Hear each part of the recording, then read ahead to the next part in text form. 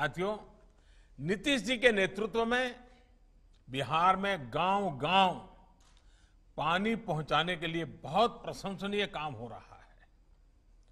चार पाँच साल पहले बिहार में सिर्फ़ दो प्रतिशत घर पीने के साफ़ पानी की सप्लाई से जुड़े थे। आज ये आंकड़ा बढ़कर सत्तर प्रतिशत से अधिक हो गया है। इस दौरान करीब करीब डेढ़ करोड़ घरों को पानी की सप्लाई से जोड़ा गया है। नीतीश जी के इस अभियान को अब जल जीवन मिशन से नई ताकत मिली है।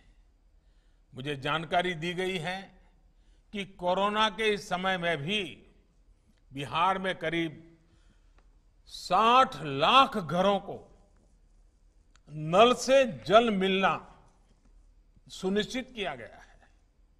यह वाकई बहुत बड़ी उपलब्धि है।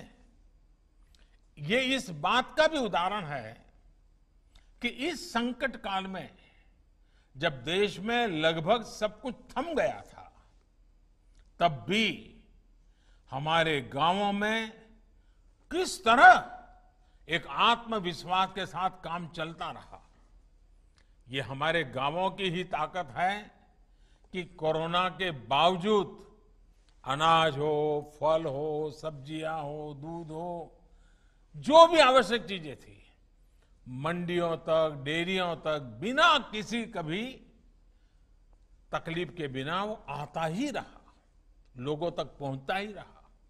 साथियों, इस दौरान अन्न उत्पादन हो, फल उत्पादन हो, दूध का उत्पादन हो हर प्रकार से बम्पर पैदावार हुई है।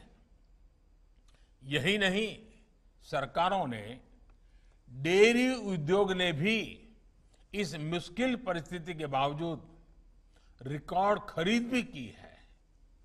पीएम किसान सम्मान निधि से भी देश के 10 करोड़ से ज़्यादा किसानों के बैंक खातों में सीधा पैसा पहुँचाया गया। है इसमें करीब करीब 75 लाख किसान हमारे बिहार के भी हैं। साथियों, जब से ये योजना शुरू हुई है, तब से अब तक करीब 6000 करोड़ रुपए बिहार के किसानों के बैंक खातों में जमा हो चुके हैं।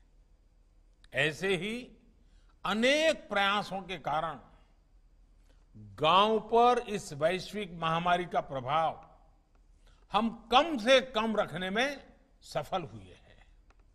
ये काम इसलिए भी प्रशंसनीय है क्योंकि बिहार कोरोना के साथ साथ बाढ़ की विभीषिका का भी बहादुरी से सामना कर रहा है।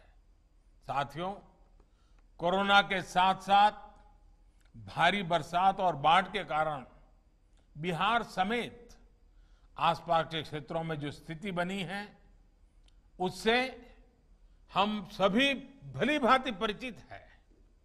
राज्य सरकार और केंद्र सरकार दोनों का प्रयास है कि राहत के कामों को तेज गति से पूरा किया जाए। इस बात पर बहुत ज़ोर दिया जा रहा है कि मुफ़्त राशन की योजना और प्रधानमंत्री गरीब कल्याण रोज़गार अभियान।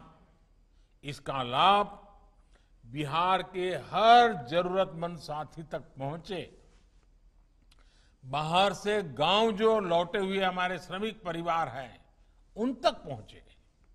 इसलिए ही मुफ़्त राशन की योजना को जून के बाद, वैसे वो जून महीने में पूरा होना था, लेकिन जून के बाद दीपावली और छठ पूजा तक उसको बढ़ा दिया गया है।